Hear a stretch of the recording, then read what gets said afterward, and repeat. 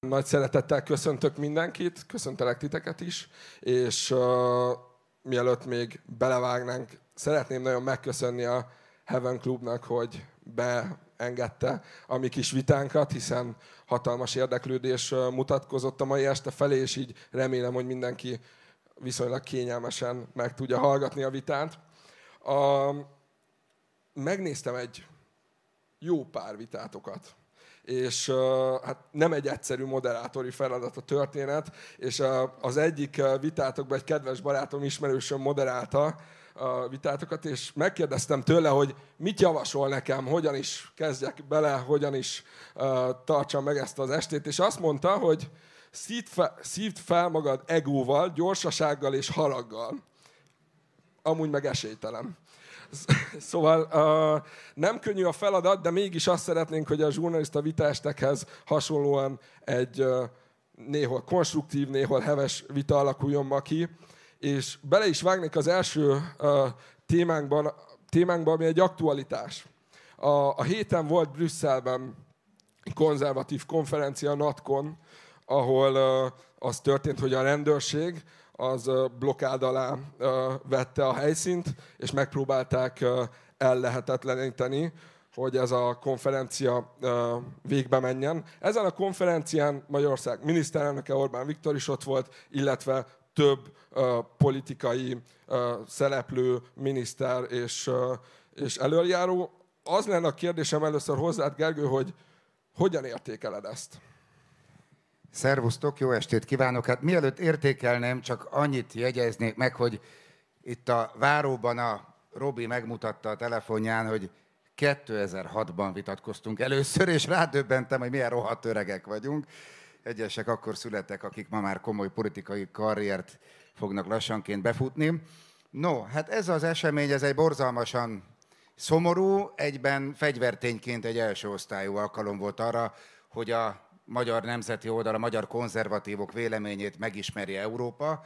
Ugye volt egy olyan jelenet tegnap előtt, hogy Orbán Viktort kergette a politikótól kezdve a teljes mainstream nyugati sajtó, hogy megtudja, hogy ilyen előzmények után elmegy erre a konferenciára.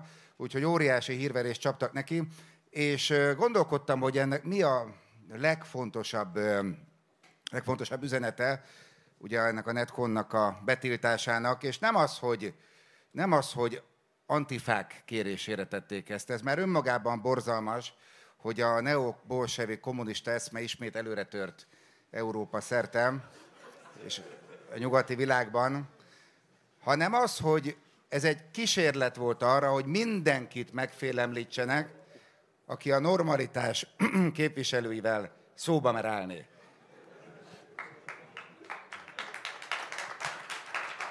Robert, nagyon ráztad a fejed. Valóban. A, e, ezek a ko, rohadt kommunisták, ezek, ezek a, a bolsevikok, ezek újra támadnak, muszáj ellopni az összes közbeszerzést előlük. Különben megszerzik. Hát nem lehet, így nem lehet. Azt hittem valami vicceset fogsz mondani, de ez a rögvalóság. A rögvalóság. Hát... Milyen büszke, milyen nem, önérzetes nem tolvaj. Tudom, hogy az önérzetes tolvaj, amelyik azt mondja, hogy nagyon is, hogy ellopta. Mi az, hogy nagyon is? Kitől hallottam én ezt? De nem tudom, hogy figyeled-e a hitpénz botrány legújabb fejleményeit. Hát pont erről szól. Visszajöttek a kommunisták, és ha elejtesz egy 200 forintost köztük, nem koppan a földön, mert egy kéz nyúl és lenyúlja. Hát igen, visszajöttek. visszajöttek. De hogy nem sikerült megakadályozni? Hát kétharmaddal. Aztán hogy nem sikerült megakadályozni? Az összes vármegyét, az összes szektort sikerült lenyúlni, de a rohadt kommunisták két vármegye közti hézakban meghúzódtak, és támadnak továbbra is. De... Guruló dollárok a vármegyék közti hézakban gurulnak el. Mm. Na, szóval Jó, hát, nem kell az áldozati hiszti. Nem tiltotta be a konferenciát senki. Két órán keresztül szünetelt a konferencia. Jaj, bele akarták folytani a szót Orbán Viktorba. De nem sikerült. A, igen, volt egy túlmozgásos kerületi polgármester, Három. amelyik, amelyik, amelyik megpróbál, kirendelte a rendőrséget, és nagyon hamar, már aznap a brüsszeli bíróság az érvénytelenítette hatálytalanította azt az intézkedést, amit hozott. Ezt most nem mondott és... komolyan, Bolgár Gyuri bácsi óta nem hallottam ilyen dörzsölt csúsztatót, mint amilyen te vagy. Itt egyáltalán nem erről volt szó. Három polgármester üldözte a kerületéből ezt a konferenciát, három catering céget, három hotelt félemlítettek meg, hogy mondja vissza a rendezést, rájuk uszították a rendőrséget, és hogyha nincsen a nagy európai sajtóvisszhang, és nem jönnek rá, hogy ez abszolút kontraproduktív, akkor bizony a második napi rendezvényt sem lehetett volna megtartani. De Úgy, meg lehetett, hála Istennek. De értem. rettenetes, hogy Európában Putyin bácsit így üldözik. Ez iszonyatos. Ez is szegény Putyin bácsinak nincs is mit tennie. Hát legfeljebb megpróbálja lerohanni Kievet, legfeljebb finanszírozza Európa szerte azokat a pártokat, amelyek hát Putyin bácsinak a, a, az igazságait terjesztik, amelyek Putyin bácsinak a, a jogát, Putyin bácsinak az érvényét, ezt a Pax Russzikát ja, akarják ne, meggyökeresztetni ne, Európában. A ma ilyen, este erről ilyen fog Orbán... szólni, hogy Orbán Viktor, meg Mateusz Morawiecki nem Morawiecki. egyenlő Nem Morawiecki. Nagyon Putyin. rossz, Tehát nagyon rossz példa. tartunk, ez nagyon azt rossz példa. Vita vége felé fogunk eljutni ideig. De miért kell ebbe belerángatni a Morawieckit? Ezt nem érdemelte meg. A Morawieckinek ehhez semmi köze nincsen. A, a Marine Le Pen, a Matteo Salvini, az igen, az igen, az valóban. Nem, nem kell a, a Moravieckit ebbe belekeverni. A Moraviecki az hitettet, meg a Moravieckinek a kabinetje, az hitettet a nyugatos ö, ö, értékek mellett Moszkvával szemben. Természetesen kritikusan áll a wokeness elmevírusához nyugaton, de ez valahogy különös módon meg tudta oldani, hogy a Wokeness elmevírusával szemben megkülönböztesse magát, és mégsem kellett kisodornia magát Moszkva külsőre. Hogy hogy csinálta, Rohadt különös. Talán azért, mert az, aki, talán azért, mert az, aki, talán azért, mert gondol valamit a világról. És az, amit ő gondol a világról, az őt kötelezi. Például ezt az abortusz dolgot. Különös, hogy Magyarországon legális a magzatgyilkosság. De, bocsánat, Miért? Talán csak nem magzat... azért, mert Orbán Viktor lemérte, és kiderült, hogy a, hogy a magyarok úgy amúgy abortu, nagy részt abortuszpártja. Mielőtt... Orbán Viktor meg nem gondolkodik semmiben olyan elvis, elvi alapon, hogy ő valamit is betiltson, ami túl népszerű Magyarországon. A a lengyel nemzeti radikálisok készen álltak arra, hogy belebukjanak abba, hogy hisznek például az abortusz ellenességükben. Ez, ez egy jó téma, akár még ezt erős beszél. Köszönöm. A, ki túl jó téma.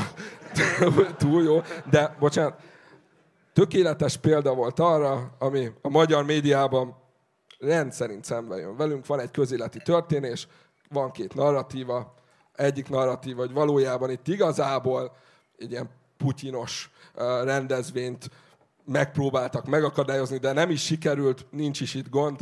A, a másik narratíva pedig nyilván az, hogy, hogy ez végtelenül felháborító.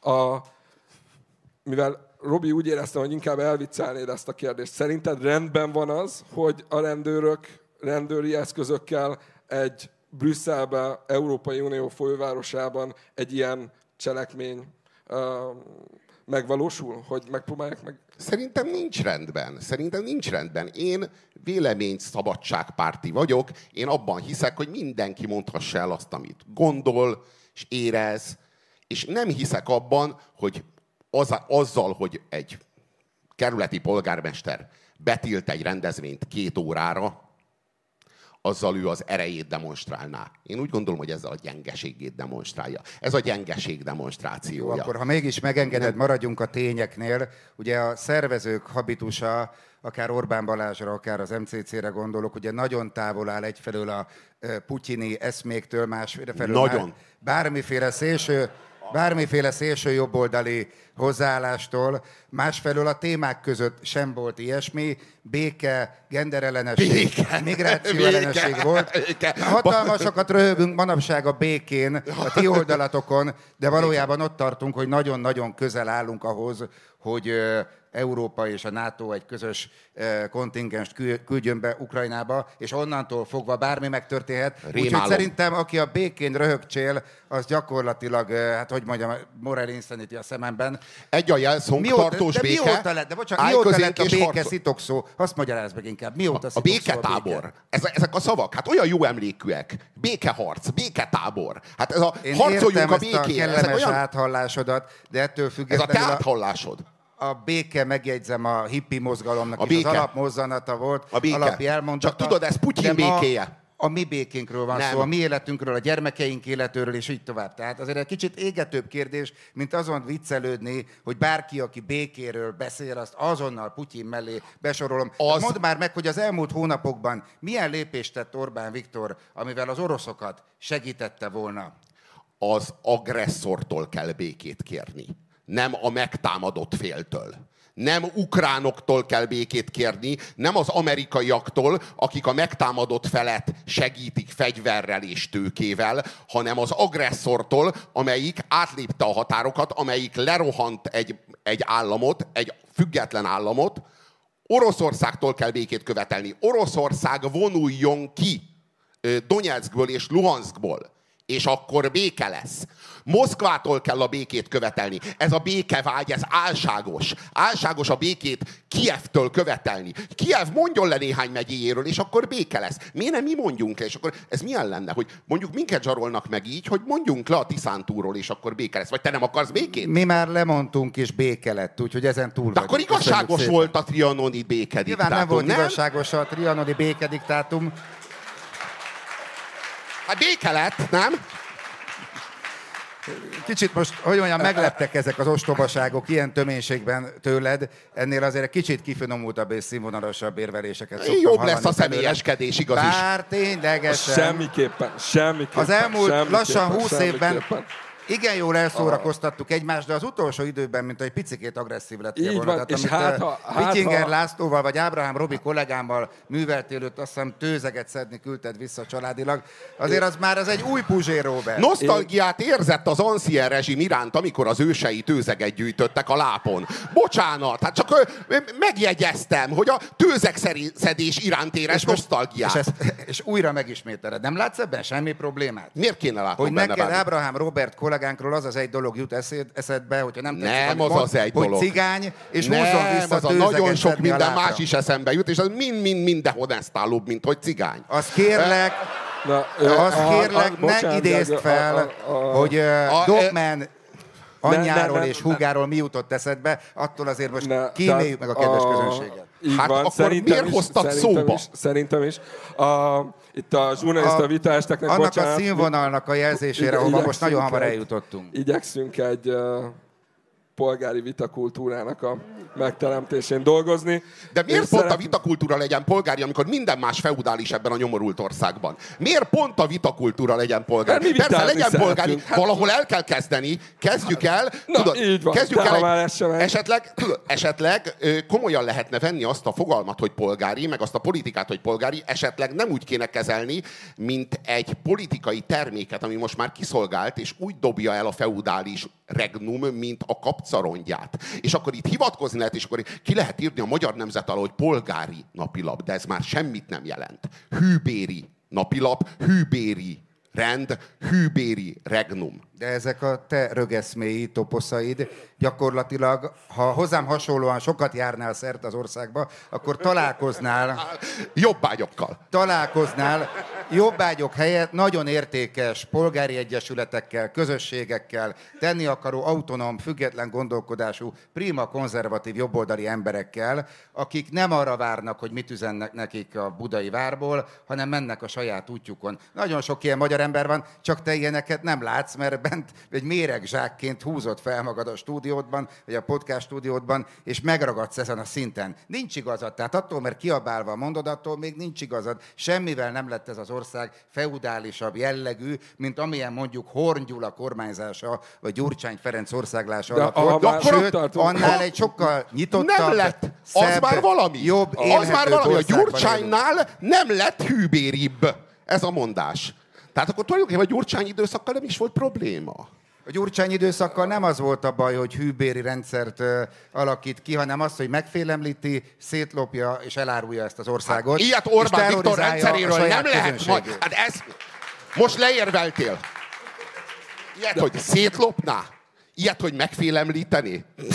De Ember, egy kicsit majd akkor beszéljünk már arról, hogy kilopja szét valójában az országot. Jó, szerintem ne beszéljünk most erről. Soros! Szerintem, szerintem arról beszéljünk, Nem hogyha tudom, már, ha bocsánat, hogyha már szóba jött az, hogy, hogy milyen, a mostani, milyen a mostani rendszer. Szerintetek, és ha már elindítottam egy kérdéssel a vitát, visszamennék. Magyarországon előfordulhatna az, hogy van egy politikai jellegű konferencia, bármilyen oldal szervezi azt, és ilyen, olyan eszközökkel próbálják el ellehetetleníteni, mint amilyen Brüsszelben történt? Boldog karácsonyt. Nem jó válasz? Nem Mindenki tetszik? értékeli. Miért, Mindenki miért? miért? Hát miért nem jó válasz? Ez- Tessék. Tehát nem, nem fordulhatna elő, ilyen előfordult rendszeresen 2010 előtt, a 98 kontra 2%-os sajtószabadság időszakában, amikor minden jobboldali kedvez, kezdeményezést majd, hogy nem ilyen föld alatti mozgalomként kellett összehozni, most ellenben a baloldali véleményformálók élnek, virulnak, szervezkednek, tüntetnek, jönnek, mennek, a nyilvánosság nagyon jelentős részét uralják, és ez egyébként így helyes. Így helyes, hogy a hazaárulók uralják a nyilvánosság jelentős részét, ugye? Nem. A másként gondolkodók, az ellenvélemények. Tehát azért Magyarország ilyen szempontból egy elég prima hely, ahol egy kattintással gyakorlatilag pro és kontra olvashatsz véleményeket, pro és kontra irányból vizsgálhatsz meg nagyon fontos húsba vágó kérdéseket. Magyarország egy jó hely. De De akkor Csak mi- fáj beismerni neked. De akkor miért kell hazaárulózni? Miért kell ezt az oldalt, amelyik amúgy az alkatrésze Mert a ha rajtatok múlna, meg. meg a védenceiden múlna, akkor nem lenne ilyen hely Magyarország. Ezt megtapasztaltuk nagyon sokszor. Rajtatok? Rajtatok? Tehát kikkel azonosítasz te most engem? Kik azok a ti? Mert most megint engem oda be- besuvasztottál, az Isten tudja bizonyára Gyurcsány mellé, ki más mellé, hogy rajtatok. Érted? Ez a, De ez nem a, én so, te magadat csuvasztottad be. Ez a Tehát mi- az, hogy Orbán egyenlő Putyin, ezt ettől még az ellenzék nagyobb része is távol tartja magát az ilyen kétbites érveléstől. Ez Ungár valóban Petike, igen. Dobrev, Klára és Ungár Peti rossz napjai és egy-két ilyen, de egyébként Ungár Petit nem akartam éppen felmagasztalni a téren, szóval azért az ott is inkább a szélsőséghez kötődik. Normális baloldali ember nem gondolja, hogy Orbán Viktor titkos szövetséget kötött volna normális Putyinnal. baloldali embernek mi baja lehetne Putyinnal? Hiszen hát a, mégiscsak a Szovjetunió étoszát, a keleti blokkot, a Varsói szerződést akarja restaurálni, és hát az ilyen értelemben érinti Magyarországot is, és miért ne lenne ennek a folyamatnak az élharcos a Magyarország? Miért ne Magyarország menne az élen? Hiszen Magyarországon az FSB már az egész jobb oldalt átformálta a maga képére. A jobbikkal kezdte, a Fidesz-szel folytatta, és gyakorlatilag... ez is olyan baromi jó duma, egy arra utaló tényt mond, hogy a Fideszbe az orosz titkosszolgálat akármilyen módon beépült, vagy a kormányzat köreibe. Mondj róla, hát hogy győzzél már meg minket arról, hogy itt tulajdonképpen a valamikori KGB uralkodik Magyarországon. Paks 2 szerződés. A Paks 2 szerződés az úgy néz ki, hogy körülbelül az erőmű kétharmadát nyugat-európai cégek építik fel. Ugye? Az ügynökak, Tévedek? Ügynökakták titkosítása. Hatalmas konszenzus Gyurcsány Ferenccel, pedig akkora a konfliktus, akkora az érdek, meg az értékkülönbség köztük. Akkora, olyan antagonisztikus a, a, az, az ellentét köztük, de különös, hogy ezen a téren azért vannak a nemzetnek alapvető sorskérdései, mint hogy például az ügynökakták azok titkosak maradjanak örökre. És ebben azért nincsen vita a Gyurcsány meg az Orbán Viktor között. Ez azért különös, nem? Tehát te, akkor, hogy olyan komoly felkészült a... emberként elmondod újra azt a baromi nagy hazugságot, hogy Magyarországon az ügynökakták nem nyilvánosak. Magyarországon az ügynökakták nyilvánosak.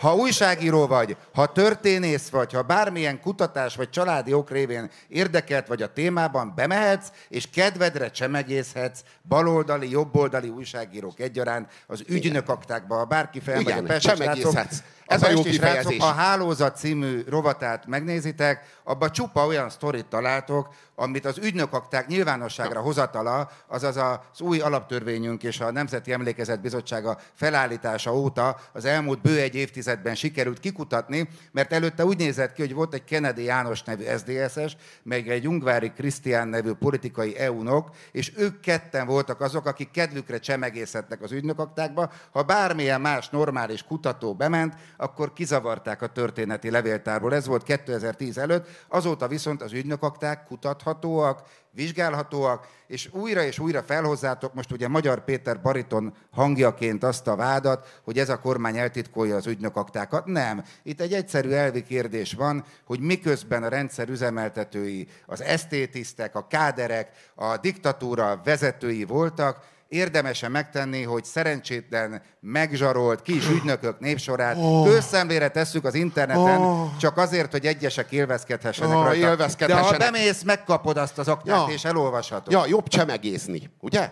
Ízlelgessük ezt egy kicsit. Csemegészhet csemegészhet a sajtó. Ez azt jelenti, ez egy csemege, ugye? Hogy ki volt ügynök, ki jelentett és ki nem, ki írt alá és ki nem. Ez egy csemege. Egy csemege a sajtónak, egy csemege a bulvár médiának, hogyha le kell valakit járatni, bemehet és csemegészhet.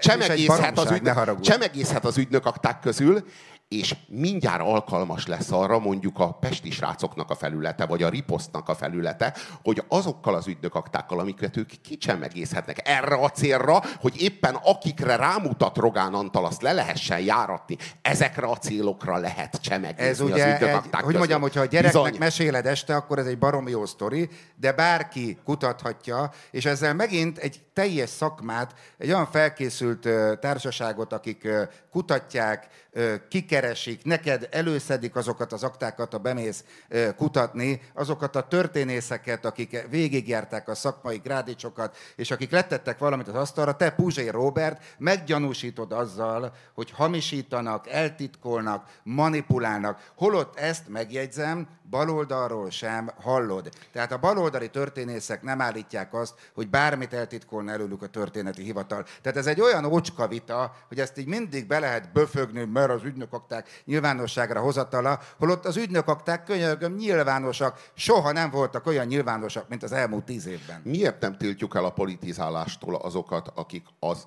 diktatúra éveiben akár politikai, akár, ö, ö, akár bármilyen katonai előjárók voltak, olyan szerepet játszottak, a diktatúra támaszai voltak, miért vehetnek részt a politikában ma is az egykori komancsok? Ha itt ebben az országban a nemzet vezet 14 éve kétharmaddal. Hogy kerül a kormányba? Volt MSZMP-s. Hát tele van a Fidesz volt MSZMP-sekkel. Hogy kerülnek ezek oda? Ennyire nem vagytok antikommunisták? Ezt nem várjátok Jaj, el? Hogy húzzunk egy... egy vörös vonalat, hogy húzzunk egy vörös vonalat, és azt mondjuk, hogy aki a diktatúrában részt vett, azt nem csukjuk le, mert nem akarjuk a gyűlölet körét, a gyűlölet spirált tovább forgatni, de egy vörös vonalat húzunk, és aki a diktatúrának a támasza volt, a jövőben politikában nem vehet részt. Hogy kerülnek oda a volt komcsik és főkomcsik a Orbán Viktor kabinettjébe? Mi, hol, hol marad ilyenkor az antikommunizmus? Mert könnyű ám a kommunistákkal hadakozni, akik valahol a háttérben, valahol a háttérhatalomban gyíkemberekként szervezkednek a nemzet ellen. Csak hogy ott vannak a húsvér kommunisták a kormányban. Hogy kerülnek oda? De hol vannak a húsvér kommunisták? Hát legközelebb fogok neked hozni egy búgócsigát, és akkor ráírom, hogy Fidesz egyelő kommunista, Orbán egyelő Putyin, ügynök akta három felkiáltó Nem javaslom. Pintér Sándor. Pintér Sándor. Nincsenek kommunisták. Pintér Sándor. Mit csinált Pintér Sándor? Azon kívül, hogy a saját berügyes karrierjét rendőrként annak idején Uraim, építgette. nagyon hát izgalmas, minden nagyon izgalmas a Pintér Kövér László. Kövér László. Kormányba, És mi volt Kövér László? Mi volt Kövér? Kövér László. A szociológiai intézetben Uraim, uraim, uraim, bocsánat. Nem szabad Kövér Lászlóról elmondani, hogy MSZMP tag volt?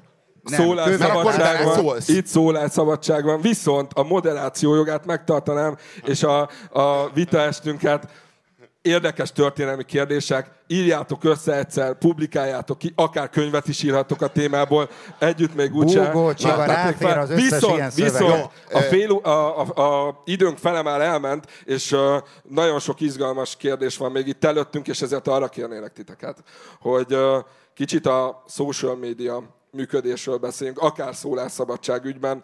A, ugye ha jól tudom, a YouTube csatornátokat, uh, Gergő, le, lelőtte, lelőtték, és, és azt olvastam tegnap az egyik hírportálon, hogy kitaláltatok egy technológiát, ahol, a, amivel kikerülhetitek a YouTube védelmi rendszerét. Erről kérlek egy pár szót mesélj nekünk. Hát ezt máshogyan kell megfogni. Ugye sokat beszéltünk ilyen bolsevik rémekről, amik lehet, hogy nem ott vannak, ahol uh, Robi feltételezi őket, hanem éppen mondjuk a Média egy nevű uh, ilyen hetszalapnak a szerkesztőségében. Tehát ők például amikor a pesti srácok valamit csinál, akkor feljelentenek minket, hogy nem akarják-e betiltani a csatornánkat, és akkor másnap a Google letörli a csatornát. Most már szándékosan indítottuk újra pesti srácok név alatt, már megint ilyen tízezeres elérések voltak pár hét leforgása után, és megint letiltották a Média1.hu feljelentésére, és most a Média egy azzal foglalkozik, hogy ahol egyes kollégáink megjelennek, tehát pesti srácok kollégák, azt is feljelentik a Google-nél, és kérik, hogy tiltsák le. Tehát azért, hogy mondjam, ez a bolsevik De tempó. miért tiltott le titeket a YouTube?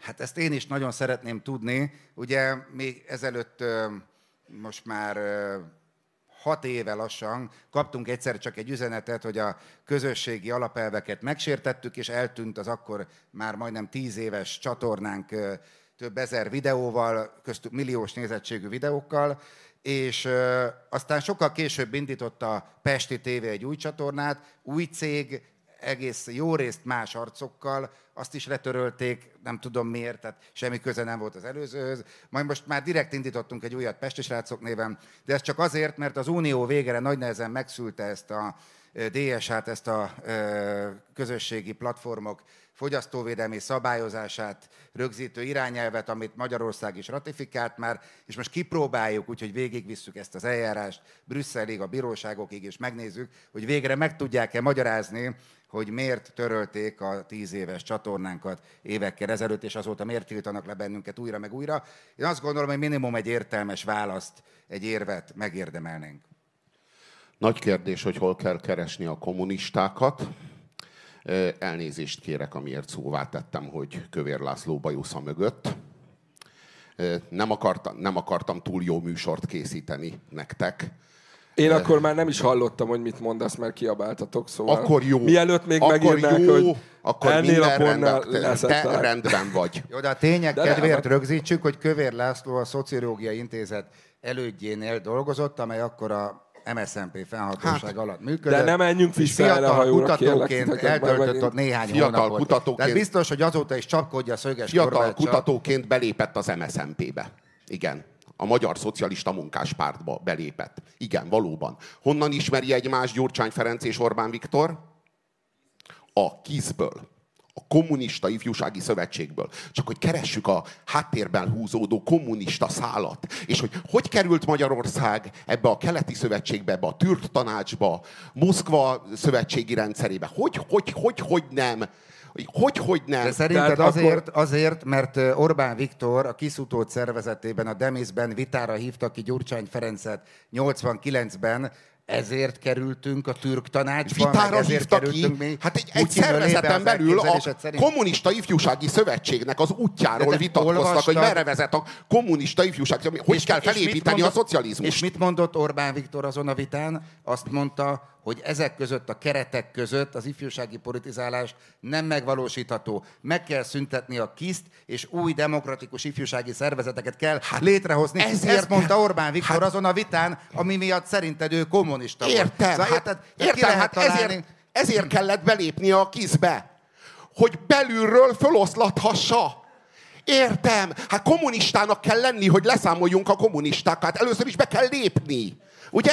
Ugye És ez a- aztán lebontjuk belülről. A közösségi, a közösségi mindenki, de most bocsánat, de minden, azért ezt rögzítsük már, hogy de- mindenki nem kommunista, De, aki bocsánat. egy jó mufnak Szóval, a felszedése emiatt, érdekében bocsánat, Gergő, pont egy jó 1980-ban mufnak a felszedése a- érdekében. Akkor egy, is, itt tehát- tartunk, hogy Orbán Viktor egy jó muf felszedése érdekében lépett be a kizbe.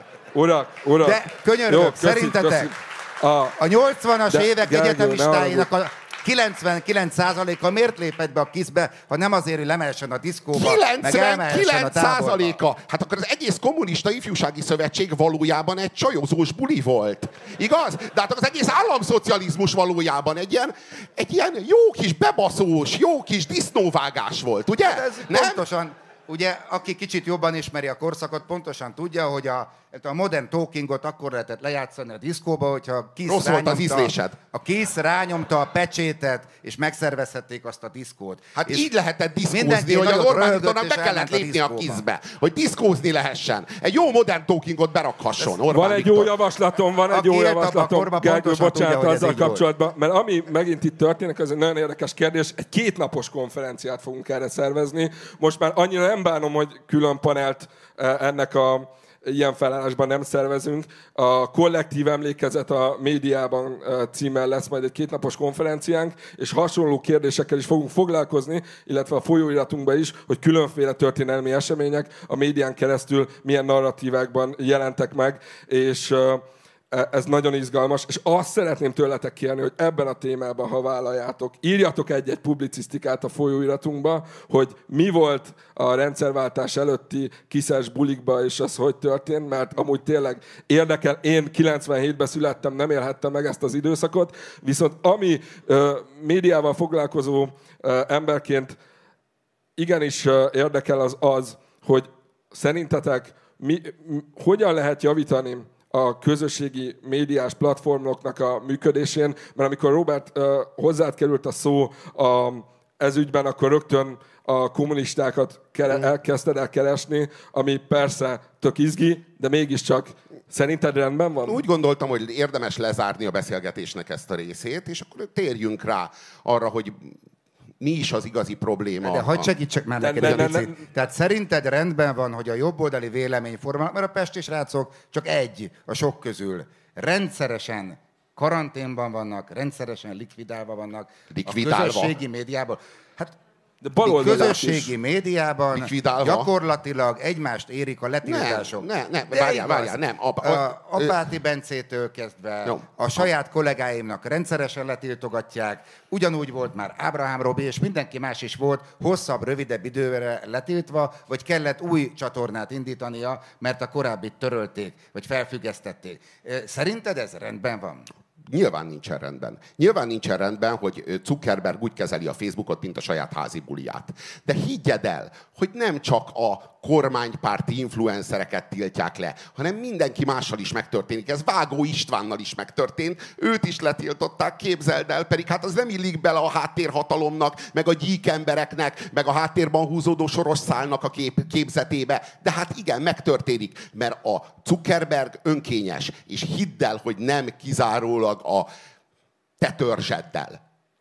Nos, akkor viszont... Ö, Jó, de említsük- azért a, a te kis mocskos szájú rep dalocskád az azóta is ott pihen a Youtube-on mindenfelé. Mi meg, hogyha merünk beszélni az LMBTQ ö, oktatás az óvodákban problémakörről, akkor azonnal repül a csatorna. És ez prob- Szerinted ez rendben és van? ez nem, ke- nem kellett volna föltölteni a pedovideót, mert benézték, és pedofil tartalomnak nézték, pedig ti tényt tártatok fel, de hát föltöltöttétek, és az algoritmus nem tudja megkülönböztetni, így működik. Nem üldöznek titeket, sajnos a, a ö, ö, cenzor ma már egy algoritmus, nem, Igen, nem a Lendvai Ildikó, Lendvai Ildikóval bejebb voltunk, mert meg tudta különböztetni És a honnan humort, tudja- meg honnan tudta tudja- különböztetni a tényfeltárást, meg tudta különböztetni a pornográfiától, vagy a pedofil tartalomtól, vagy a gyerekpornótól, meg sajnos az Ugye ez algoritmus jól nem hangzik, tudja. de ez egy a óriási kép- hazugság. Tehát egyrészt sosem tettünk közé természetesen pedofil videót. De föltöltöttétek. A YouTube adott egyszer egy választ szintén a Média egynek, és nem nekünk, tehát nekünk még sosem válaszoltak, hogy miért törölték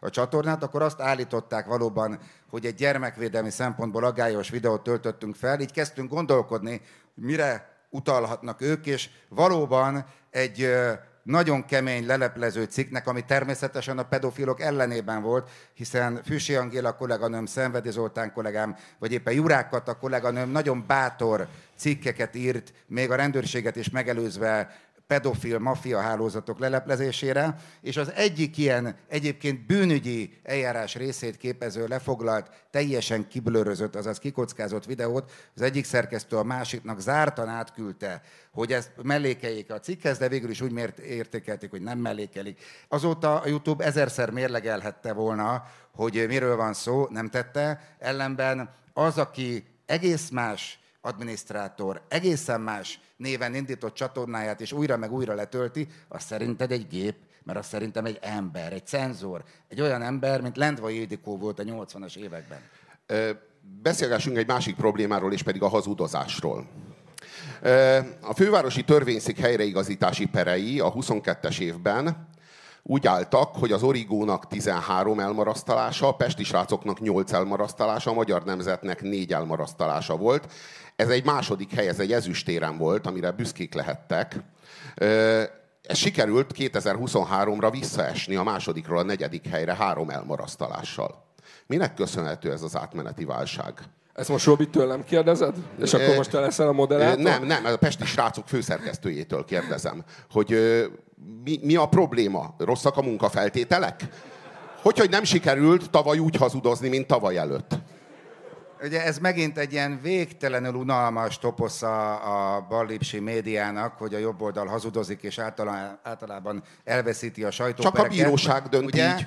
Amikor, amikor egyébként pontosan ilyen balos média, úgynevezett szakműhelyek vesztes sajtóperekről írnak, akkor elfelejtik azt megemlíteni, hogy azoknak egy jelentős része alapvetően nyertes sajtóper. Tehát amikor beperelnek téged 12 pontba, és abból 10-ben neked van igazad a bíróság szerint, kettőben veszítesz, az a jogi nyelvén egy nyertes sajtóper, a Telexnél, meg a médiainél, az már egy, meg a Puzsérnál, az már egy vesztes sajtóper lesz. Tehát jelentem, hogy zsinórba a rossz körülmények ellenére megnyerjük a sajtóperek nagy többségét, és helytállunk fontos kérdésekben. Az, hogy baloldali ügyvédek, vagy inkább héják szakosodtak arra, hogy jelentéktelen félmondatokkal perek százait indítsák el, és az embernek nincs energiája minden esetben éjjel-nappal ezek ellen védekezni, az nem jelenti azt, hogy mi többet tévednénk, mint a baloldali sajtó. Szó sincs erről, hiszen talán te vagy itt az élő példa, hogy amikor a tényekkel kell bánni, akkor hát nem kesztyűskézzel nyúlsz a dolgokhoz. Ábrahám Robert kivonult a szerkesztőségedből, széles gesztusokkal jelezve, hogy neki a becsülete többet ér egy helyreigazítás miatt, mert helyreigazítottatok valamit, amit ő megírt, és ami hát nem volt teljesen úgy és pontosan úgy. De aztán, és ezzel mint egy üzent is fölfelé, hogy ez nem egy rendes Orbánista műhely, és hát mielőtt még elérte volna a kiáratot, sikerült utolérned őt, és rábírnod a maradásra. Hogy történt ez? Mivel sikerült megérvelned Ábrahám Robertnek, hogy a becsületével szemben mégis az egzisztenciáját válassza? Ugye nem történt ez. Tehát ott kezdődik, hogy megint nem mondasz igazat, hiszen Ábrahám Robi cikkét nem igazítottuk helyre. Egy magyar nemzetes... Hát ma is kint van, ezekben a percekben is kint van a helyreigazítás. Portálunkon 2018. július 11. napján Soros fia és annak fekete barátja is felvonult a Budapest Pride-on videóval címmel megjelent cikkünkben valótlanul állítottuk, hogy a 2018-as Budapest Pride felvonuláson Soros György és fia, Soros György fia és fekete barátja is részt vettek. Cikkünkben és a linkelt videóban olyan személyeket mutattunk be, akik nem tartoznak Soros György családjához. E két személytől ezúton elnézést kérünk. Tehát gondolom ezt a vita egy másik részénél akartad elővenni. Ezekben ugye ez a percekben is nem kint Ábrahám, van. Az a rossz hír, hogy ezekben, a, ezekben a, a percekben is kint van a helyreigazítás. De ne arra, hogy marhaságot beszélsz. Ez nem az a helyreigazítás, amire te gondolsz. Én tudom, mire gondolsz, majd mindjárt elmondom. Ez ugye egy sok évvel ezelőtti történet, egy átvett hír, más újságtól átvett hír, ahol valóban úgy gondolták két nagyon hasonló figuráról, egyébként valóban nevetséges módon, hogy az ugye Soros fia és a az ő fekete barátja. Egyébként önként igazítottunk helyre, nem bírósági ítéletre, és általában, hogyha téves dolgot veszünk át, vagy tévedünk, önként helyreigazítunk. Szerintem ez egy becsülendő tulajdonságunk. Nálad ritkábban látok ilyesmit. Viszont amire te gondolsz, akkor... Lehet, ne, hogy, ne azért, mert, lehet hogy azért, mert nem tényújságíró vagyok, hanem véleményújságíró. Azért a véleményekben nem? is illik valós tényekből kiindulni. De ne, ker, ne kerüljük ki azt a témát, amit felhoztál Ábrahám Robit. Ugye Ábrahám Robit nem igazítottuk helyre. A magyar Akkor miért vonult ki? A magyar nemzetnek egy Oswald Zsoltról szóló cikkében ügyvédi tanácsra jelent meg egy helyreigazítás, éppen azért, mert olyan jellegű volt az állítás, és mindjárt beavatlak benneteket, hogy miről van szó, ami ugye bíróság előtt elég nehezen vitatható. Tehát itt arról van szó, hogy Oswald Zsolti a felmerült vádak alapján csak a Bráneréről készült fotókat küldte el egy kiskorúnak, vagy szexuálisan is zaklatta azt a kiskorút, mivel nem voltunk ott az ö, illető hálószobában, ahol ez megtörténhetett, ezért ezt a bíróság előtt sem tudtuk volna hitelt érdemlően igazolni, ez nem Ábrahám Robi cikke, ugyanis Ábrahám Robi csak egy dolgot állított, azt, amit Oswald Zsolt maga állított évekkel korábban, éppen Ábrahám Robi Pesti tévés műsorára reagálva, maga mondta azt, hogy szégyelli magát, amiért kiskorú embernek ilyen fotókat küldözgetett, és ezt elevenítette fel Ábrahám Robi nagyon helyesen, és azt a baromi jó mondatot írta le, hogy nem csak azzal kéne foglalkozni, hogy odakint szörnyek járnak-e, mert lehet, hogy a szörnyek ott vannak fent a színpadon. Mm. És azt hiszem, hogy Ábrahám Robi nagyban hozzájárult ahhoz, hogy totálisan hiteltelenné vált az az influencer sereg, aki ott fent állt a hősök tere színpadán, hiszen hogyha a gyermekvédelemről beszélünk, akkor valószínűleg az első számú problémaként azonosíthatjuk az ott felszólalók egyikét másikát. Miért akart Ábrahám Robert kivonulni a, magy- a Pesti srácok szerkesztőségéből egy magyar nemzetben megjelent helyreigazítás miatt? Hát egyfelől nem tartozik rád, másfelől... Transzparens újságírás. Másfelől... Másfelől meg, mivel egy, mivel egy, őszinte, mivel egy őszinte gyerek vagyok, és mivel Ábrahám Robi maga is írt erről a blogjában, ezért elmondom. Hálásan köszönjük. Ő úgy érezte, hogy a magyar nemzet állításának a helyesbítése gyengítette az ő egyébként Osvágy Zsoltól származó kijelentéseit, cikkét, állításait, és ez bántotta meg. És ezért ki akart vonulni a pesti srácoktól? Sikerült tisztázni vele a félreértést. És mivel győzted meg? Mivel győzted meg? Nagyjából azzal, amit neked most elmondtam, hogy nem a te cikkedről szól ez a helyesbítés, hanem arról, hogy mi nem tudjuk utólag bebizonyítani, hogy pontosan mi történt abban a hálószobában, ezért inkább nem pereskedünk ebben a témában. Aha. De azért, ha csak azt nézzük, amit Osváth maga elismert, hogy kiskorúaknak küldözgetett obszén képeket a saját pöcséről, azért az önmagában alkalmatlaná teszi ezt az embert, hogy gyermekvédelemről szónokoljon. Még mindig nem értem, miért vonul ki a Pesti srácok szerkesztőségéből Ebből Ábrahám azért, mert megjelent a magyar nemzetben egy helyreigazítás. Mi, a, mi volt a problémája veled, meg a szerkesztőséged? Bocsánat, megígérem, meg bocsánat, csak hogy Most a sajtóról, meg az újságírásról van szó. kérdezel fel engem, amikor a te életed az olyan, mint egy brazil szappanopera. Hát miért tűntek el a csatornáit például? Tehát amikor elszégyelted magad, a rep muzsikád húsvéti közzététel Kellemetlennek tűnik a kérdés. Hova tűntek a csatornáid egy Miért nem beszélsz, miért nem beszélsz arról? Az volt a kérdés, hogy miért akarta elhagyni Ábrahám Robert a te szerkesztőségedet. Mi volt a problémája vele? Miután Én... kitettél egy eh, rep eh, számot arról, urak, hogy urak, hogyan urak. kell Pityinger László anyját és lányát megerőszakolni, urak, utána urak. miért törölted a csatornádat, miért tűntél el napokra, Én... és miért szégyelted el Nem magad? tűntem el senki elől, és nem szégyeltem el magam. Miért kellett volna elszégyelnem magam? Csak válaszolj már, légy szíves, mert ez egy közügy, és itt meg a sajtóról beszélgetünk. Ábrahám Robert kivonult a szerkesztőségedből. Mi volt a problémája? Mit hányt a szemedre, amire azt mondta, hogy a becsülete többet ér, mint a megélhetése.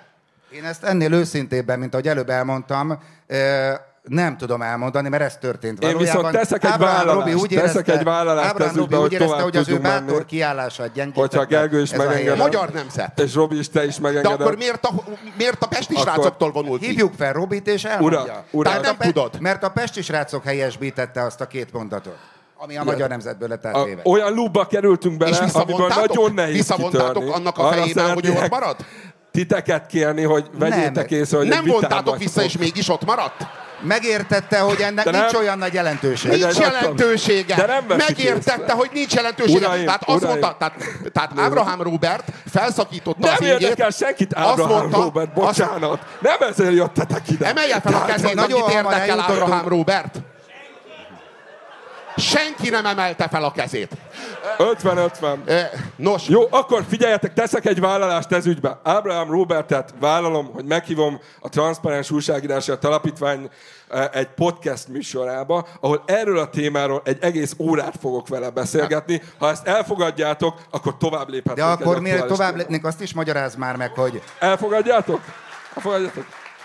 a Jó, húzzon vissza Ábrahám ne- Robert ne- ne vissza, tőzeget kérlek, szedni a kér- lápra, kérlek, te azt nem tartott problémásnak? Nem ne tartott vissza. Ne, húz, ne húzzon vissza. Ne vágyódjon vissza tőzeget szedni a lápra. Amikor ő a felvilágosodást, meg a francia forradalmat, meg a polgári társadalmat, meg az emberi és polgári jogokat És kárhoztatja, és van? sátáni szellemnek bélyegzi, akkor valójában visszavágyódik a lápra tőzeget szedni. Ne vágyódjon vissza a lápra tőzeget szedni. És Maradjon a pesti van, srácok szerkesztőségében, valakivel- és hazudozzon tovább. Valakivel filozófiai vitád van, akkor az első gondolatod, hogy büdös cigány. Hát így viselkedsz, basz meg. Nem büdös Uram. cigány. Nem büdös cigány.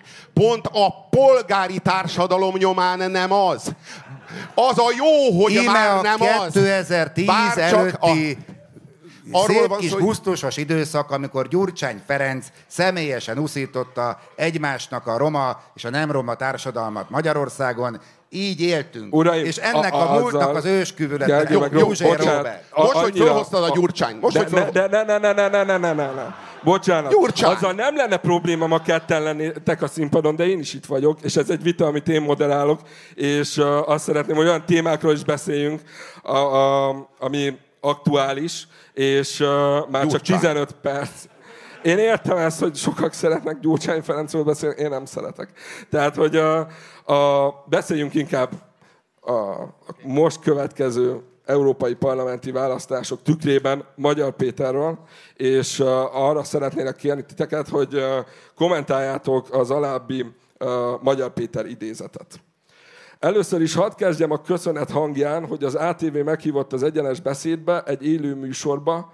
Ez még nem történt eddig meg a Fidesz propaganda média többi zászlós hajójánál, mint a TV2, az Origo, a Köztévé és az Index, úgyhogy innen is köszönöm a lehetőséget. Egyetértetek vele?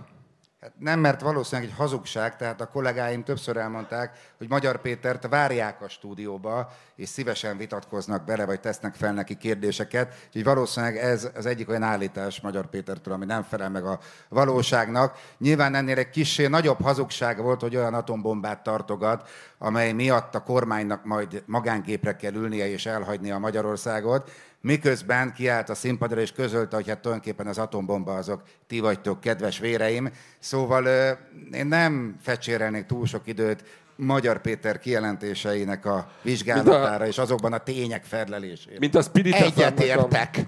Egyetértek, én sem fecsérelnék. Azt kéne kommentálnom, hogy megköszöni az ATV-nek, hogy meghívták. Ezt kéne most kommentálnom? Vagy azt, hogy nem hívták meg a mai napig a köztévébe?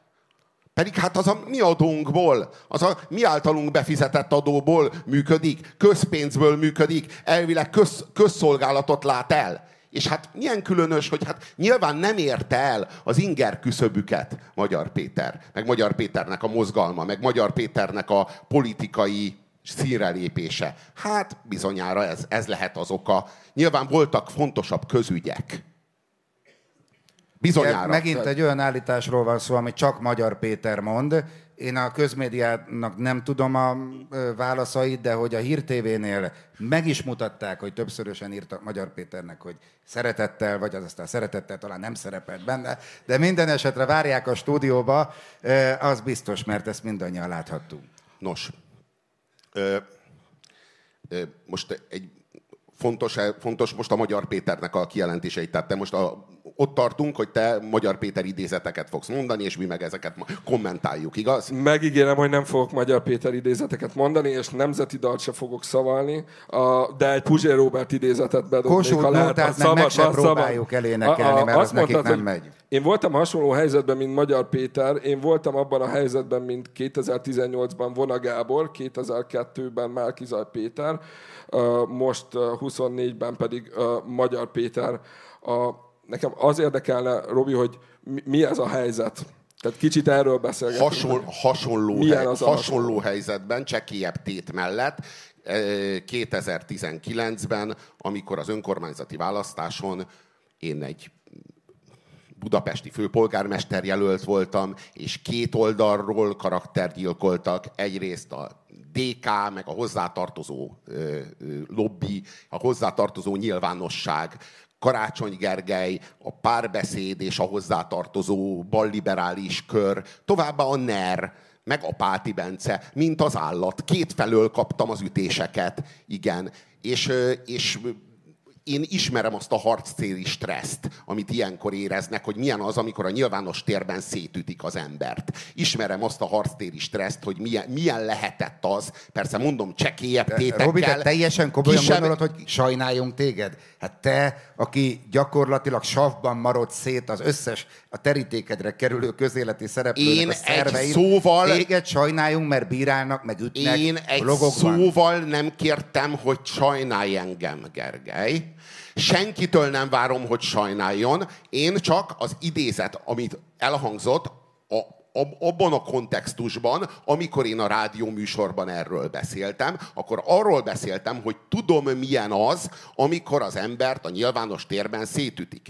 És olyankor nem akaratlagosan a frontális lebeny az, ami kommunikál, hanem amikor ezeket az ütéseket kapja, akkor ösztönkésztetés nyomán üt vissza. Ezekben az ütésekben általában nincsen erő. Olyan, mint amikor megrendítenek egy boxolót, aki beszed egy ütést, és próbál visszaütni, de valójában csak kaszál az erőtlen ütéseivel.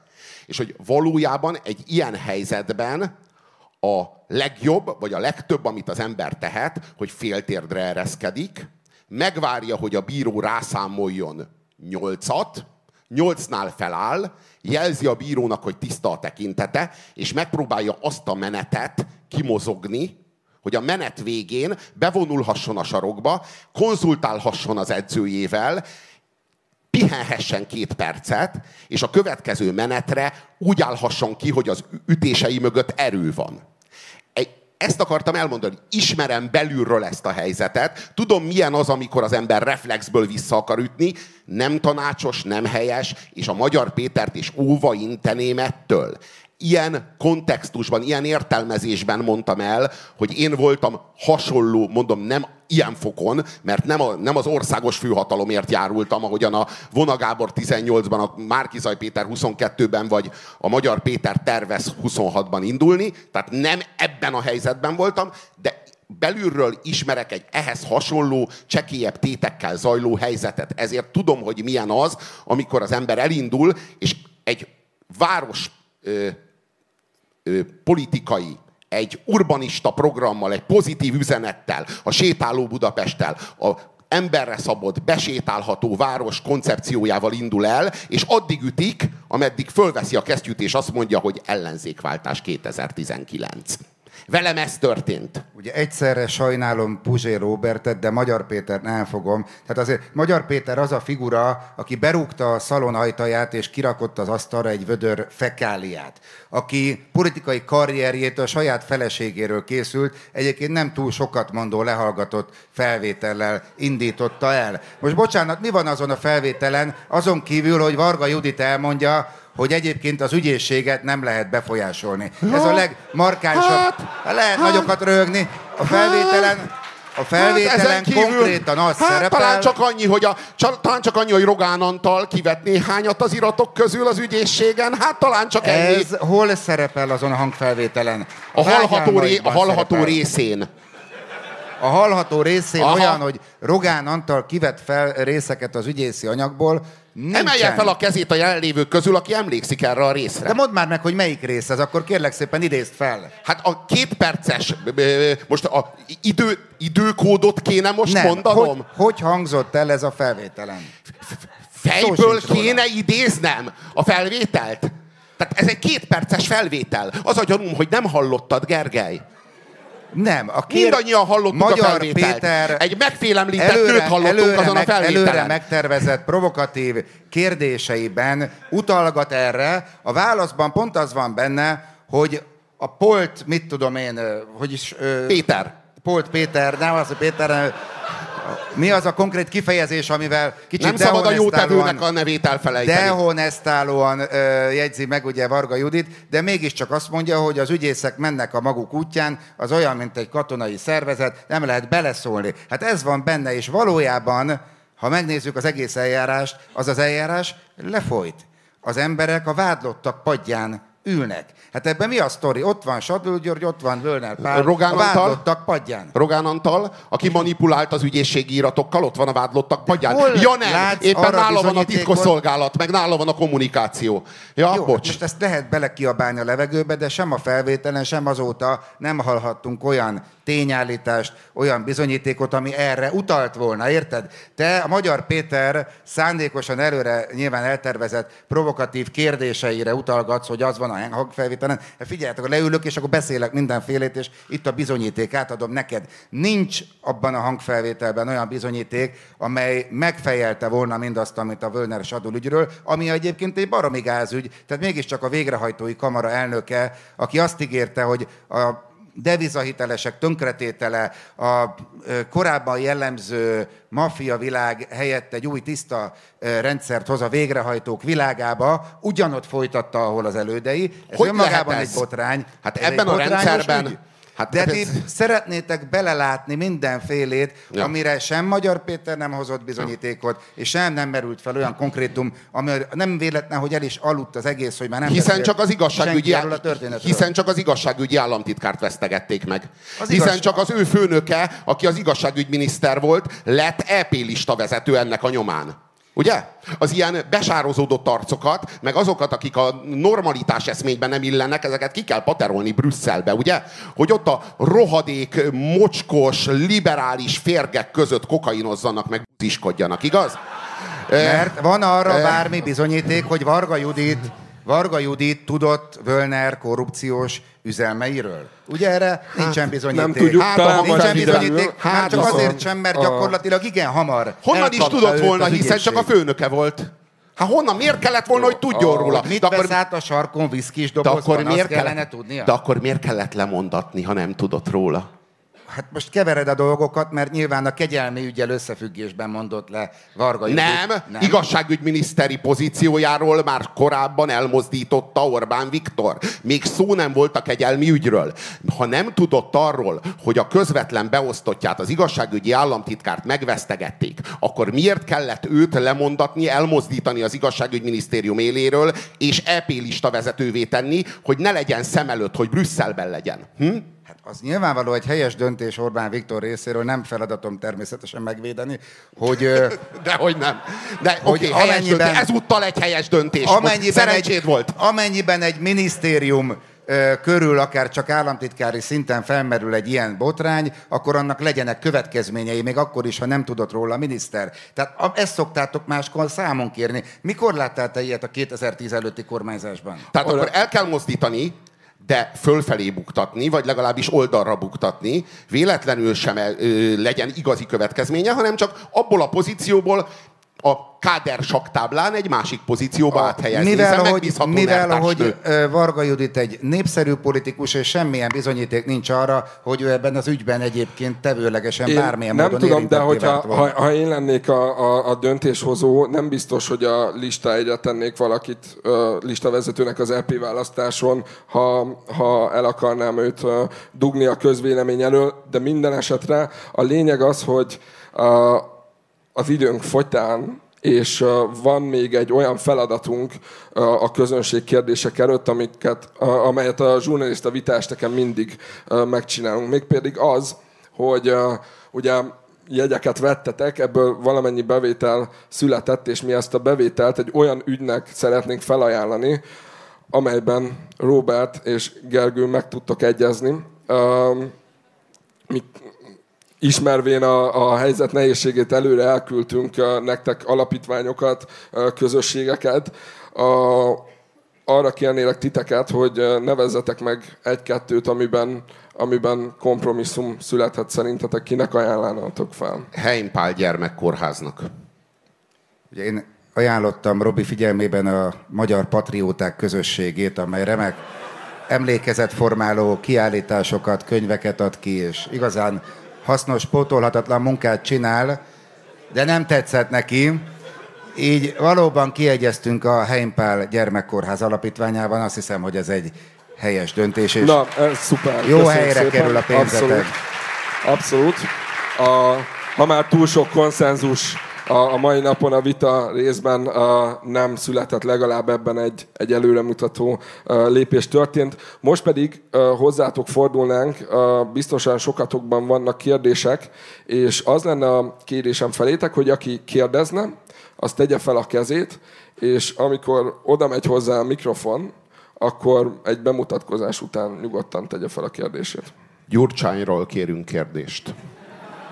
Magyar Péterről. Nem kell röhögni, nem kell röhögni. Hát a gyurcsány az egy fo- nagyon súlyos probléma. Hát minden plakáton ott szerepel. Hát az egész ellenzéket ő, ő vezényli, mint dirigálja, mint egy karmester. Nem? Láttad Karácsony Gergely O- Ott van egy kampányítóját? kérdés, kösz, köszönjük. A... Hát, nyugodtan állj fel.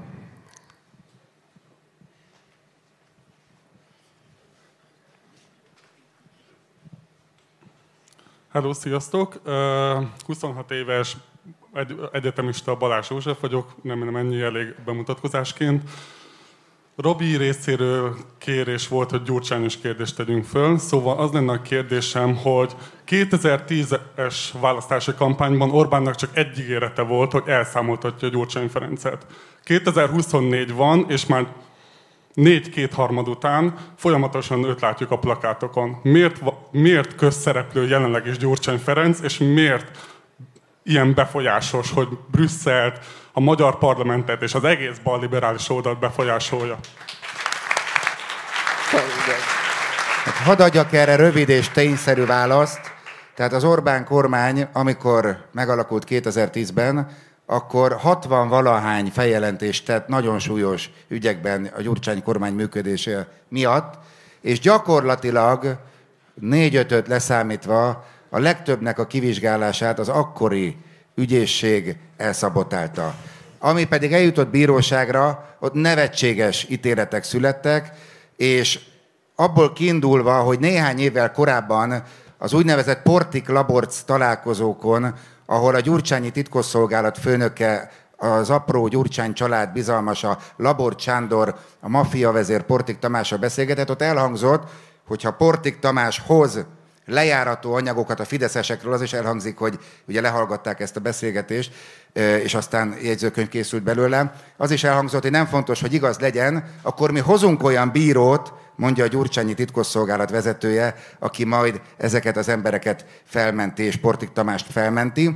Ezek után én nem vagyok meglepődve azon, hogy ez a 60 valány feljelentés félresiklott az ügyészség és a bíróság útvesztőjében 2010 után. Úgyhogy, Úgyhogy volt elszámoltatás, de jogállami módon. Mit lehet tenni? Elszámolt. Ki Gyurcsány elszámolt. De miért helyes lett volna a bíróságokat számon kérni? Hogy miért hoztak sorra felmentő, meg nevetséges ítéleteket olyan ügyekben, ahol sok milliárd forintos tételek tűntek el, mondjuk, mint a moszkvai kereskedelmi kirendeltség ellopása, Gyurcsány haverjai által és értékesítése. Gergely, A, Gergely. Majd a valódi árnak az egy tizedének a befizetése a kasszába. Szóval, Szóval- ilyen ügyekben siklott félre a nyomozás, úgyhogy nem igaz, hogy nem volt elszámoltatás, volt elszámoltatás. A kérdés másik része pedig úgy válaszolható meg, hogy a nyugatnak szüksége van Gyurcsány Ferencre. Dobrev Klárát kihívták Brüsszelbe, és az európai szocialisták, az európai liberálisok cirógatják, etetik, bátorítják és táplálják. Tehát az, hogy Gyurcsány Ferenc még mindig itt van, és a plakátokra kell tenni, mert Karácsony Gergely nem tud úgy elindulni a választáson, hogy ne kelljen hozzá Gyurcsány Ferenc támogatása. Láttuk a hétvégi kampányitón akkor ez a válasz arra, hogy ki helyezi Gyurcsány Ferencet még mindig a politikai térképre. Polt Péter egy rendes, tisztességes, becsületes, nemzeti érzelmű főügyész. Hogy nem tudta rábizonyítani a gazemberséget erre a gazember Gyurcsányra? Hogy, és hogy lehet ő főügyész, ha képtelen a legfőbb gazembert, aki a, mi az egyetlen egy választási ígérete volt 2010-ben Orbán Viktornak. Az egyetlen egy választási ígérete. Hogyha ő nem tudja elszámoltatni, nem tudja ö, börtönbe záratni ezt a gazembert, aki a privatizáció során olyan módon, olyan gyalázatos módon jutott azokhoz a javakhoz, amik fölött diszponál, hogy mi az, hogy nagyon is, ezt a gazembert, aki elcsalta a választást, a költségvetési adatokat, az államháztartási hiány mértékét meghamisította, így tartottak választást Magyarországon, aki ezután nem mondott le, amikor kiderült a gazembersége, akkor még három éven keresztül ott maradt, amikor ki, ki, kivonultak az emberek az utcára, hogy tüntessenek ellene, akkor közéjük lövetett. Ezt a gazembert, ezt a hazaárulót, hogy nem sikerült négy kétharmad nyomán eltakarítani a magyar közéletből, hanem ő ma is, eb, eb, ezen a Magyarországon, ahol Orbán Viktor teljhatalommal uralkodik 14 éve, ezen a Magyarországon az ellenzék vezére, a legnagyobb ellenzéki frakció frakcióvezetője, és a legnagyobb ellenzéki párt elnöke. Hogy van ez? Talán csak nem azért nem sikerült, mert nincs rá szándék. Mert többet ér Gyurcsány Ferenc Orbán Viktornak a parlamentben az ellenzék vezéreként a plakátokon, mint a rácsok mögött. Talán csak nem erről van szó. Nyilván ez a konteó sokkal izgalmasabb, mint a valóság, de nem tudom, hogyha szoktál híreket olvasni, akkor talán láttad azt is, hogy rendőrök és ügyészek tucatjai kerültek vád alá pontosan azok a körök, akiknek feladatuk lett volna ezeknek az ügyeknek a feltárása. Hiába van ott Polt Péter, aki nem tudom, hogy mindig tökéletes munkát végeze a legfelsőbb szinten, hogyha a rendőrség nem végzi el a nyomozást. Hát elnézést kérek, de a Nemzeti Nyomozó Iroda és a szervezet bűnözés elleni rendőri egységnek szinte a teljes egésze korrupció miatt lakat alá került. Ez pont az a korszak, amikor a gyurcsány ügyeket kellett volna feltárni. Hát azokat a nyomozásokat elszabotálták. De nincs késő. De késő Még van. mindig nincs késő. Miért van késő? Mert, Mert ha jó, jobb a, jogállami, késő a van? jogállami eszközöket figyelembe veszed, késő van. Miért? Ezek az ügyek elévültek, De miért? és Hát már nem lehet miért előrökkezdeni. évültek el? Pláne Hát úgy, hogy Orbán a legtöbb Viktor- ügyben felmentő ítélet született. Orbán Viktor a konyhapulton írja át folyamatosan az alaptörvényt, ahányszor csak szükség van rá. Mi az, hogy elévültek? Hát akkor írja át az alaptörvényt, és már is nem évültek el. Hát úgy, úgy, tör, úgy hoznak törvényeket, ahogyan csak akarnak. A- Hogyha volna szándék arra, hogy elszámoltassák Gyurcsány Ferencet, nem volna késő. Kétharmaddal, bármikor lehetne módosítani, csak nincs rá szándék. Ezért kényelmes, hogy bocsánat, késő nyilván ez egy- Ilyen ez a jogállam. Ez egy bolsevik belvita, Jó, mert a régi bocsánat, öregek igen. nem engedik az új generációt Szóval, előre törni. uraim, hagyjunk még lehetőséget ezért gyűlölitek Gyurcsány, de valójában, bocsánat, csak annyi, lehetőség. ebben a témában minden rendelkezésre álló jogállami eszköz ki lett használva, Jó, rengeteg ne- ne- feljelentés született, rengeteg de akkor a Gyurcsány ártatlan. Akkor mondd ki, el lett számoltatva, és kiderült, hogy ártatlan. büntető jogi szempontból az, amikor például az a mozzanat, nem tudom, ki emlékszik még rá, vagy ki tudja, hogy Gyurcsány a Horn kormányzás alatt a 90-es évek közepén akkori értéken olyan 10 milliárd forint értékű gyár állami vállalati vagyont szerzett meg, úgy, hogy mindösszesen néhány 10 millió forint készpénzt tett le az asztalra. Tehát ezek azok az ügyek, A- ezek azok az a ügyek, amiben meg kellett volna állapítani a bűncselekményeket. Ebből a témából is uh, várjuk a publicisztikát a kollektív emlékezetes uh, folyóiratunkba. Több kérdést is látok. Uh, ott a két úr, a hátsó talán úr előbb uh, feltette már a kezét. Rövid név és rövid kérdés. Deák Martin vagyok, a Pécsi Tudományegyetem és az MCC hallgatója. Most jöttem a NATCON konferenciáról. Puzsér úrral szeretném kérdezni. Keddi napon megérkeztek a rendőrök, sorfalat álltak a Claridge bejáratánál, és közölték, hogy aki kint van, az nem mehet be. Ebbe beleértve az előadókat, ebbe beleértve a vendégeket is. Ez mégis Brüsszelben, az Európai Unió fővárosában rendben van? Nincs rendben. Szó sincs róla. Nincs rendben. Csak nem kéne többet ö, ö, értelmezni ebből a helyzetből, mint amennyi.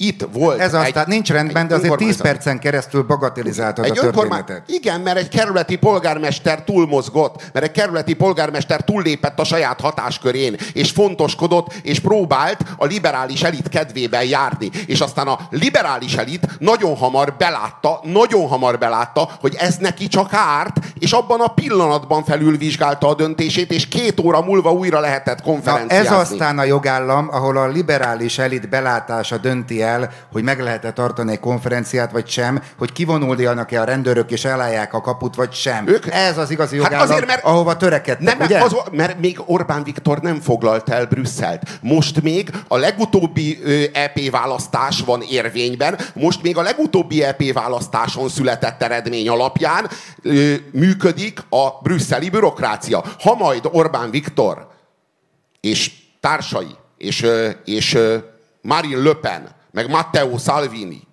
meg Vladimir Putyin közösen elfoglalják Brüsszelt, majd egy más világ lesz, és akkor majd nyilván véleményszabadság lesz, meg szólásszabadság és transzparens újságírás. Nem lennék benne a rémálbaidban. Ne, ne, nem gondolom, hogy a transzparens vagy. újságírás Benne ezen vagy. múlik. Azon, azon mi dolgozunk, a politikusokat meghagyjuk a politizálásra. A, az úrt szólítanám, aki még ott jelentkezett, látom többen is vagytok. Megkérem a résztvevőket, hogy rövid választ adjanak, hogy minél több kérdést meg Hosszú kérdésre rövid választ, megígérjük. Rövid kérdés, rövid válasz. Én engem Varga Dánielnek hívnak, én is ö, 19 éves egyetemista hallgató vagyok, és én szeretnék a Gyurcsányi vonalhoz visszatérni, és egy olyan kérdést feltenni. Érdekes ez a pár. Nem, nem szabad? Hud Gergelyülnek egy olyan kérdést szeretnék feltenni, hogy, vagy egy olyat, hogy ö, oldja fel azt az ellentmondást, hogy amennyiben a magyar Péter által kiszivárgatott hangfelvétel nem bizonyít semmit, akkor az összödi beszéd miért bizonyít bármit? Hát, Előtt- igen. Tehát az összödi beszédnek is elsősorban politikai következményei voltak, ahol Gyurcsány Ferenc azt vallotta be, hogy meghamisították az államháztartási adatokat, a választásokon hazudtak, és ez egyébként egy később bebizonyítható, beigazolható tétel volt. Tehát gyakorlatilag az, hogy akkor 10% körüli államháztartási hiány duzzadt fel, azt az előző évi néhány százalékról, azt eltitkolták az emberek elől. Ezt az összödi beszédben bevallja Gyurcsány, de az összödi beszéd is azért ütött nagyot, mert azért olyat a újkori demokráciák történetében talán még sehol nem lehetett látni, hogy egy miniszterelnök kiáll egy nagy közönség elé, és bevallja, hogy hazudtunk reggel, délben, meg este.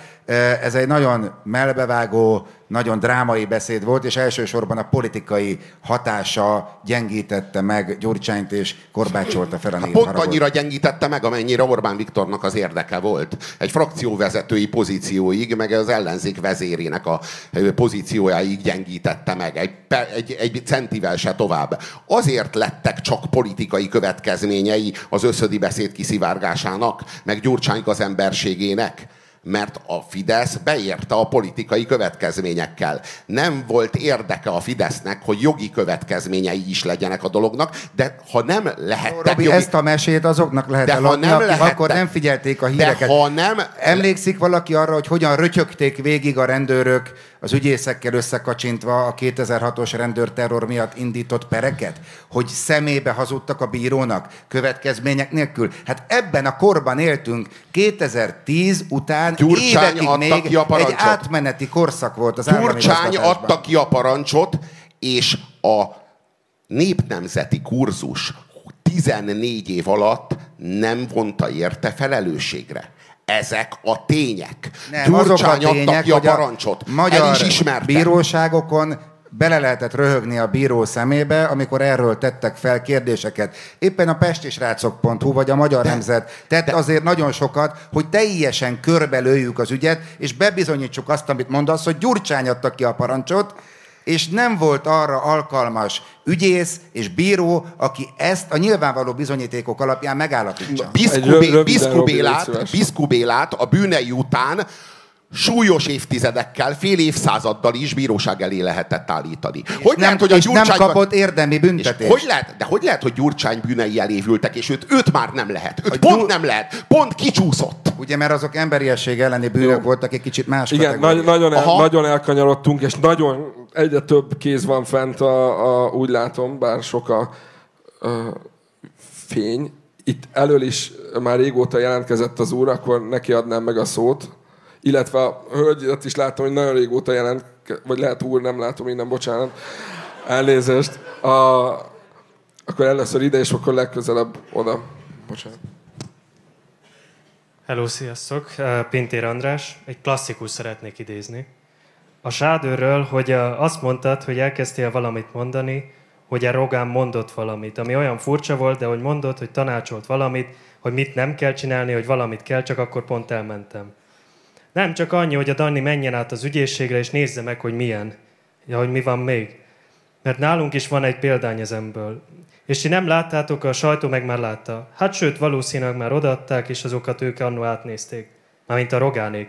Igen, semmi rossz nincsen, de, de arra azt mondta Martinovics Zsetti, hogy semmi rossz, de kiúzattak dolgokat. Persze, magukat kiúzatták. A Martinovics tettű. Bocsánat, rövid, rövid leszek tényleg. Az eredeti doksiban, vagy csak ami megjelent? Javasolták az ügyészeknek, hogy mit kéne kiúzni, de azt nem mind tartották be. Csak szerettem volna felfrissíteni a Gergely úr emlékezetét.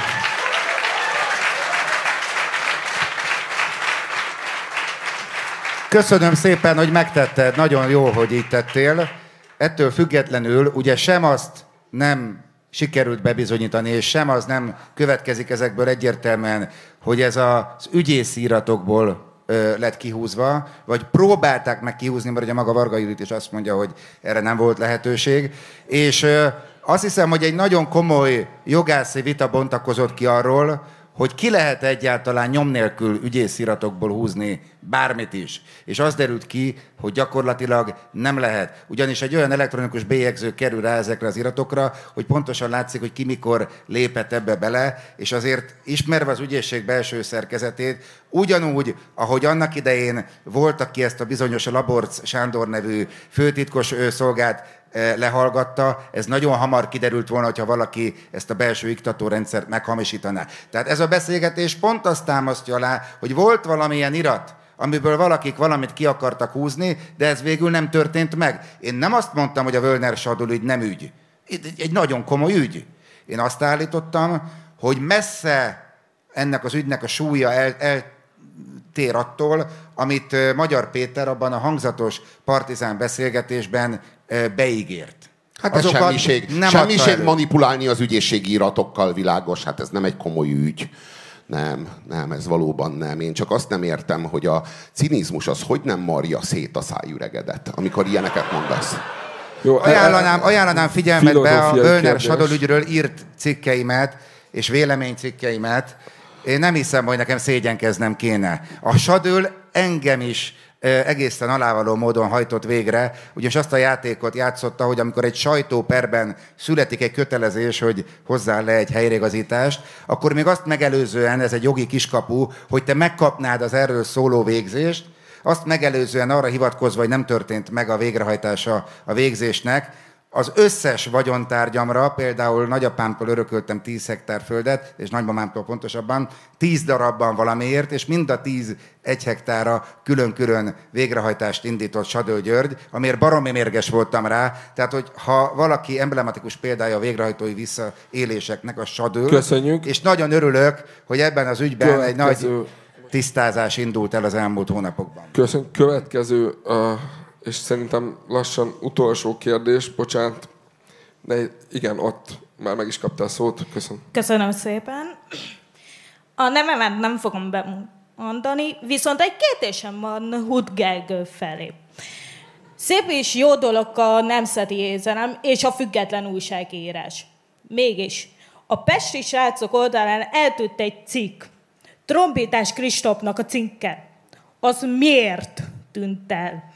Mert lehet mondani azt, hogy az LMPG-kus dolog nagyon csúnya dolog, fúj, fúj, de mégis olyan tírt, amivel azzal kapcsolatban volt, hogy az azonos nevű párok is vállalhatnak gyereket.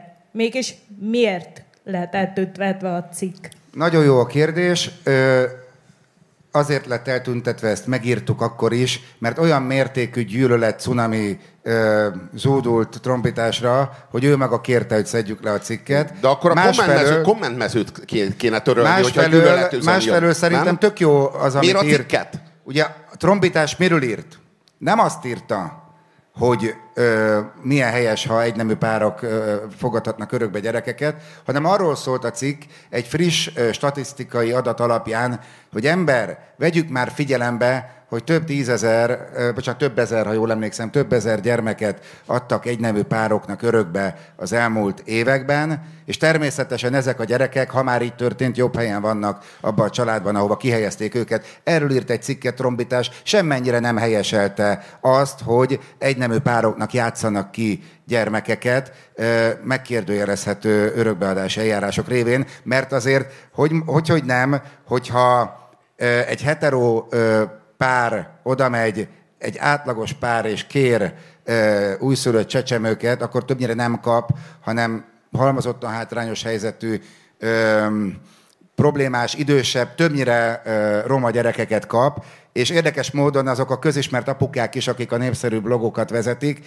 hogy, hogy nem, egy újszülött fehér ö, ikerpárt kaptak. Tehát van itt miről beszélni, de az is egy igazság, amit Trombitás Kristóf leírt. Gergely, hogyha Trombitás Kristóf nehezményezte azt a karaktergyilkosság sorozatot, vagy azt a kicsontozást, amikor hát a, hát valójában a nemzeti radikális kurzus által felkorbácsolt, felhetszelt ö, söpredék, hát visszaharapott a gazda kezére, hát valójában ez történt, elvétette a lépést Trombitás Kristóf, és, és hát a, a, az, az, a, az a csőcselék, amelyik úgy, úgy, úgy lett tenyésztve, hogy a nemzeti radikális kurzusnak a, az erejét és a bázisát képezze, az hát ez acélbecétes bakancsal a sarkára taposott. Ez ne, nem véletlenül Jakab Péternek és a többi hasonszörű ö, veszett radikálisnak a teremtménye? De Jakab Szerinted Péter. De miért? Jakab Péter. Jakab Péter Hol, van, uszította. hol Tehát akkor, amikor, a- akkor, amikor, a akkor, amikor jobboldaltól? érzékenyíteni próbál ö, ö, ö, Trombitás Kristóf, mert azt képzeli, hogy ő még ezt is megteheti, hogy érzékenyítsen homoszexuálisok iránt, akkor elkezdik kicsontozni őt a kommentmezőben, bizonyára Jakab Péter hetszelte fel ezeket. Bizony. Gergő, nekem Nyilván, hát ugyan ki más, Bocsánat. hát de Bete Zsolt A- eszünkbe se jut. Hol olvasol? nem, hanem, Hol na, olvasol? akkor A a kérdés az, A mai konzervatív közélet soraiból hol olvasol? Az a kérdés, olyan gyűlöletkeltő van, posztokat, amire egy utalsz. kérdés van. A Trombitás Kristóf maga kérte, hogy leszedjétek ezt a Maga cikket? kérte ezt, De miért a cikket? Miért nem a Meg fogjuk kommentmezőn? kérdezni Miért nem a Trombitás Mert egy kommentmezőn? szerzőnek joga van Meg ehhez, fogjuk és kérdezni. tiszteletben kell tartani miért? De miért? Ha megengeditek, Magyarországon- bocsánat, akkor még egy kérdést fel tudunk tenni. Próbáljuk meg, mert tényleg sokan jelentkeztek, és, és bár mindenki tehetné. Ott nagyon hátul látok egy kezet, bocsánat, a, aki már régóta, többen régóta felteszitek. Igen, ha Nagyon szépen köszönöm a szót, szervusztok! A, hogy volt? Igen, pár perce jelent meg egy cikk a 444-en a következő címmel. Lázár János, kettős pont. Varga Judit hülyeségeket beszélt, vessző, Novák Katalin idézőjel nyit, nem való közénk idézőjel zár. Mi a véleményetek erről? Köszönöm. Hát ezek tények. A T- TV2 hírműsorának a címével tudok válaszolni a kérdésre. Nyilvánvaló, hogy, hogy nem tartozik a, a Fidesz soraiba, hiszen hát föl lett áldozva. És értelemszerű, hogy a, hiszen mi mást csinált volna, mint amit a rendszer elvárt tőle, és a rendszer megkövetelt tőle. Itt a rendszer minden, és a rendszer szolga senki. Akkor is, hogyha államfő, akkor is, hogyha igazságügyminiszter volt. Senki. Bárki feláldozható a táblán, és ők föl lettek áldozva, úgyhogy most Lázár János teljes joggal fölényeskedhet, és adhatja elő, hogy nem tartozik közéjük. Ez ma már tény. Orbán Viktor így döntött, hiszen megdőltek. Hiszen az ő személyük lett össze összegyermek megrontásozva. És az össze, összegyermek megrontásozott káder, az nem jó káder. Az ilyen nertársnő, az nem jó nertársnő. Rövid, hogy, hogy, hogyha kicsit lett csak összemocskolva, akkor még ott van neki Brüsszel. De hogyha nagyon, akkor el kell engedni a kezét, kivéve, hogyha Rogán Antalnak egy vissza nem utasítható ajánlata van neki, mint például Varga Juditnak. Varga Judit nem szabadult azzal, hogy visszavonult a politikától. Rogán Antal visszahívta, hogy, hogy Hajdú Péter stúdiójában hiteltelenítse el, meg karaktergyilkolja le a saját férjét. De hát ebből is csak egy, egy Amber hördözésre tellett. Nagyjából annyi derült ki, hogy amíg Varga Judit az pofán verte, Magyar Pétert, addig Magyar Péterre vonatkozóan nincs olyan vád, hogy fizikailag fenyítette volna a feleségét. Ez a rossz hír. De azon a felvételen, amit az imént az úr felidézett, azon a hangfelvételen mindenki hallhatja, hogy egy megfélemlített nő hangja. Szinte remeg a hangja. Engem is, amikor megfélemlítenek egy sötét sikátorban, én is a Völner Sádl ügyről szoktam elkezdeni beszélni, hogy megúszszam a helyzetet. Én azt gondolom, Jól látom, hogy a, a Magyar Péter iránt táplált a... közismert szerelmed egyfajta vakságot okoz az esetedben.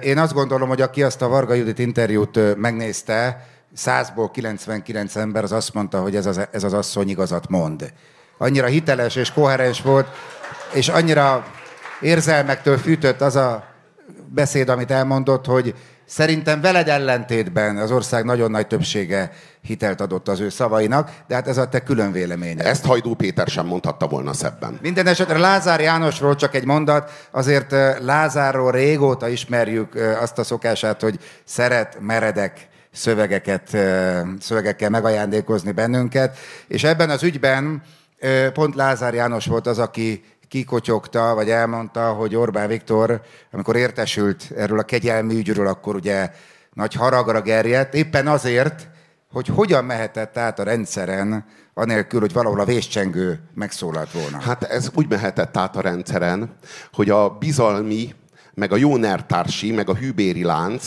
az, az bárkit kimosdat, bármit is követett el. Pont ez a lényeg. Az a kegyelem, amit kapott, a, a, gazember az nem Vargának vagy Nováknak a kegyelme volt.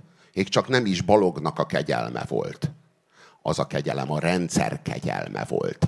A rendszer adja a kegyelmet, csak hogyha lebukás van, akkor nem a rendszer vállalja a felelősséget, akkor már Novák, akkor már Varga. De mondja ezt Puzsér akkor Robert már Balog. a hordó tetejéről, ehhez képest Füsi Angéla kolléganőm, aki tizenvalahány éve követi nyomon ezt a konkrét pedofil ügyet, ő elég szépen leírta, hogy ki ez a figura, hogyan került ide, hogyan ment végbe ez a nyomozás, és mindarról nem volt szó, amit te mondasz. Ennek a fickónak azon kívül, hogy dörgölőzött ott Fejér megyében bizonyos körökhöz, semmiféle politikai kapcsolata nem volt Balogh Zoltánon kívül. De akkor Úgyhogy baromi jól hangzik, amit de mondasz, miért, de csak akkor, nem igaz, érted? Igen, de, nem akkor, igaz. De akkor de hogy ez került, a, de akkor hogy került a Balogh Zoltán az ő feleségével a, a, a, bocsánat, a Sándor palotába, kérdés. és hogy, hogy került Balogh Zoltán ennek kérdés, az embernek kérdés, a feleségével kérdés. együtt a Sándor palotába, hogy lobbizzon ennek az embernek a kegyelméért. Talán... Hogy került oda, hogyha nincsen a nerbe behálózva? Magyarázd el, légy szíves. Talán, tudásunk szerint ugye maga Balogh Zoltán volt az, muszáj, aki lobbizott, és ő maga is bevallotta. Muszáj, Egy személyben. muszáj megszakítsalak titeket. Köszönöm, hogy lekerekítetted.